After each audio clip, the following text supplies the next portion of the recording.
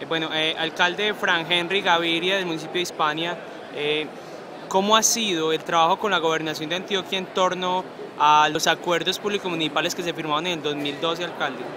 En relación a los acuerdos públicos, nosotros trajimos básicamente tres temas, de los cuales se ha cumplido uno, uno de ellos. Quedan restando dos temas por cumplirse.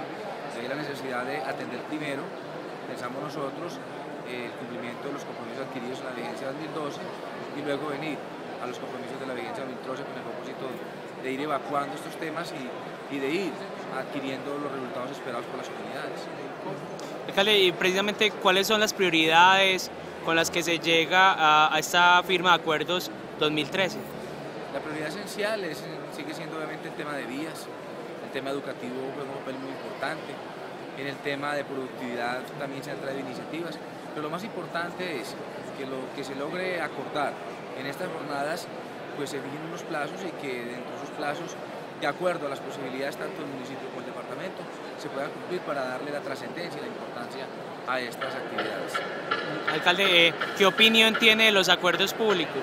Todos los ejercicios que se hagan de participación, de concertar, de transparencia, de legalidad son bienvenidos.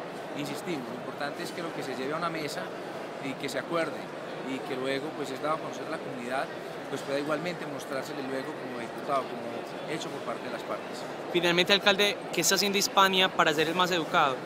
Hispania es el primer municipio digital del país. Hoy todos los estudiantes, todos los estudiantes sin excepción alguna, tienen un computador, una tablet, una terminal.